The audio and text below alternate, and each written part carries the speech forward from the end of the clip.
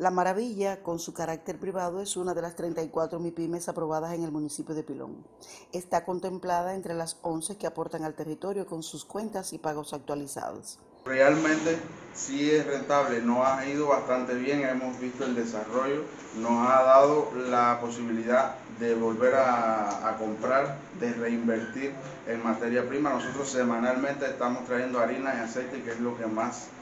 lleva esta fórmula de la galleta y entonces realmente sí nos da para el pago al trabajador para que se sienta un poco más cómodo porque realmente ellos aquí como quien dice es un sacrificio eh, bastante complejo lo que hacen por la calor, la situación, tú sabes que estamos pasando con la corriente, todas estas cosas, incluso le subimos el salario, empezamos un salario al principio, vimos el desarrollo, la rentabilidad que íbamos a tener, le subimos el salario y pensamos subirlo aún más, aún más porque realmente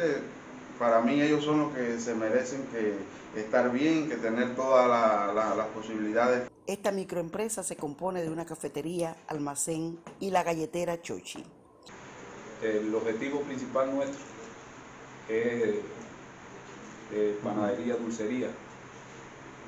y esa es el, el, la gestión que en esta primera parte hemos estado fortaleciendo, lo cual ya es, una, es un resultado mantiene la contratación para su gestión con organismos, empresas estatales y no estatales. Tenemos eh, contrataciones como tal para la gestión de, otra, de otro centro de costo que nos hemos propuesto como, como tal comercializar productos desde La Habana, desde la misma provincia nuestra que queremos extender a Holguín, queremos también